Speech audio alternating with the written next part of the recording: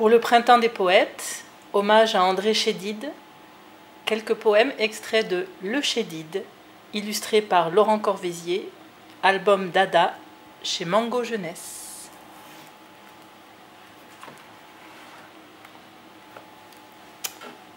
Pas de clé à la poésie. Pas de clé à la poésie. Pas de ciel, pas de fond, pas de nid, pas de nom. Ni lieu, ni but, ni raison.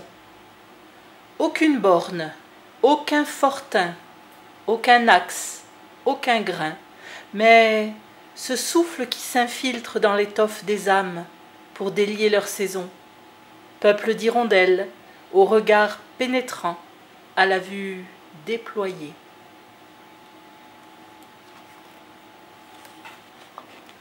Destination arbre.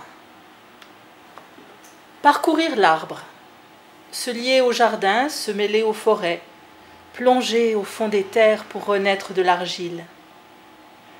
Peu à peu, s'affranchir des sols et des racines, gravir lentement le fût, envahir la charpente, se greffer au branchage.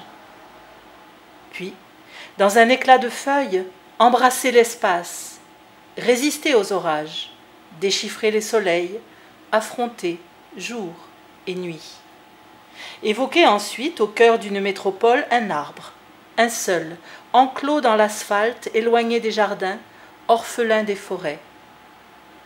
Un arbre au tronc rêche, aux branches taries, aux feuilles longuement éteintes. S'unir à cette soif, rejoindre cette retraite et écouter ses appels. Sentir sous l'écorce captive mais invincible la montée des sèves, la pression des bourgeons, semblable aux rêves tenaces qui fortifient nos vies. Cheminer d'arbre en arbre, explorant l'éphémère, aller d'arbre en arbre, dépistant la durée.